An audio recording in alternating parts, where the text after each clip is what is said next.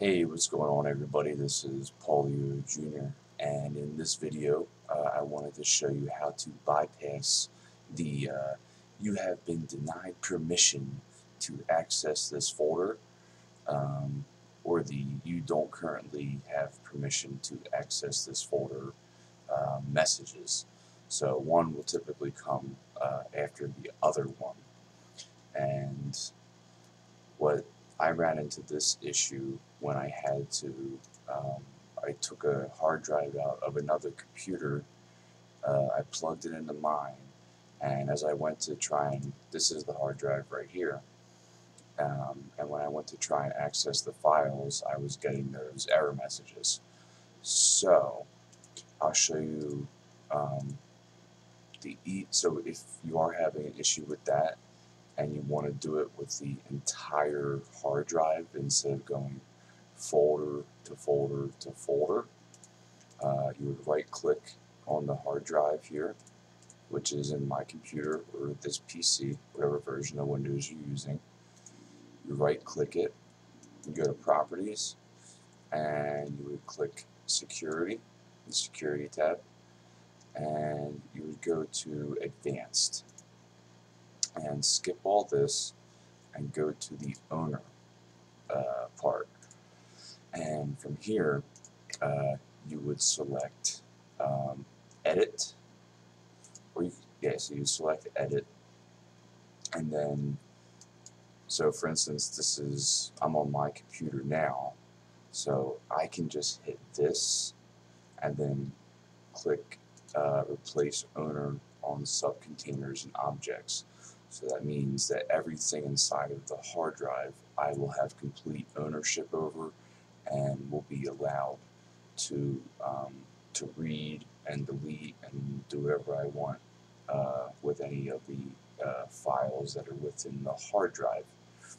Um, so if you want to do, so you can do that if you um, if that's your name, or you can just do other users uh, or groups and you can just type in uh, everyone, check names, hit OK, and have the same thing. You would do the same thing. So you would click that, make sure that replace owner on subcontainers and objects is checked off.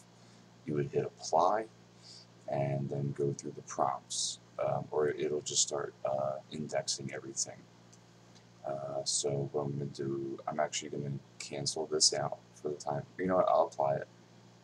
So I'm going to use Paul, which is the user account on this. Hit OK. And this is what it does. It goes through every single thing here so that I can have access to everything on the hard drive. So I'm going to let that run and just show you what I have to do, what you would have to do if you got that error message while trying to open up a specific folder. Uh, in that folder, it's the same exact thing.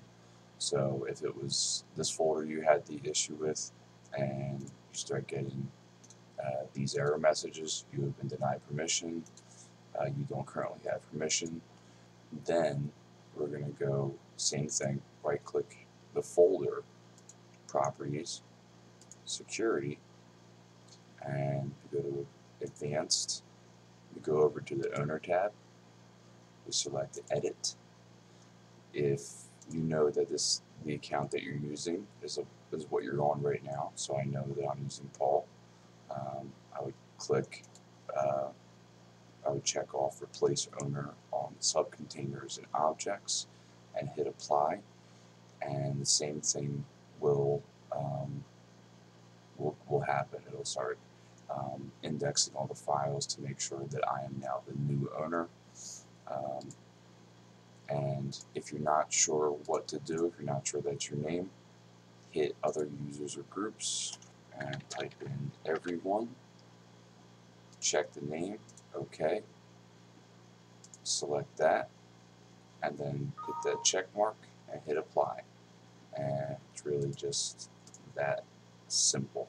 So uh, I hope you guys, and then you'll be able to have access to all of the files uh, in the um, in the folder or on the hard drive. So if you're trying to do the complete hard drive and get everything in the hard drive, then um, you know that's that's the easiest way to do it. So you don't have to con continually do it for each and every single folder. So right click, properties, and go to security, go to owner, go to edit, and then select the, uh, the username that you want to use.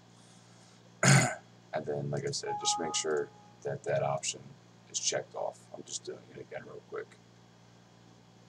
Edit, make sure that option is checked off, for place owner. So, and that's it. So, I hope you guys enjoyed. Thanks for watching.